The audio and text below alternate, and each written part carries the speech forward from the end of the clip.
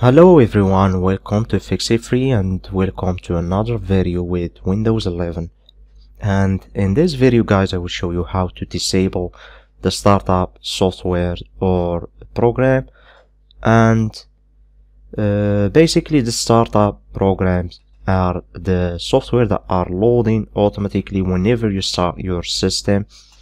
And basically the system prepare those software at your first use after the start of the system prepare those software for you before the complete loading of the system. And uh, you can see the list by clicking on this arrow here. As you can see have uh, only five uh, type of software.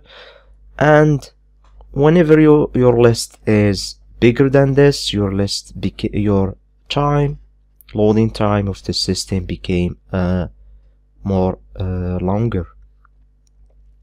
And uh, if you want to make your computer fast at loading just watch this video to the end and uh, for the start you only need to click right click here at the windows logo here as you can see and then click on the task manager.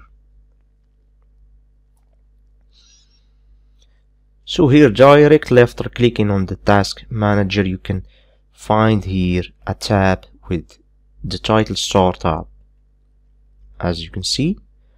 And here as you can see I have all the software that are on the startup. And in order to disable those software for example I disabled Cortana as you can see.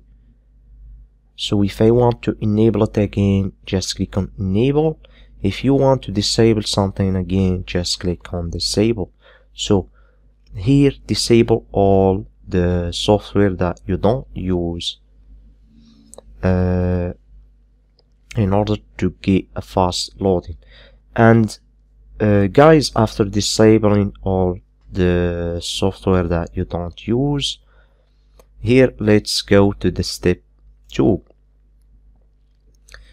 so the step 2 is to search on task scheduler. Task. As you can see here it is task scheduler. And uh, with the task scheduler uh, you will be able to see some sort of uh, of planning like updates and a lot of things that are not showing on this tab here as you can see. So for example here I have the Google Update Task Machine Core. So you can also disable this by clicking on right click disable or just by clicking on disable as you can see.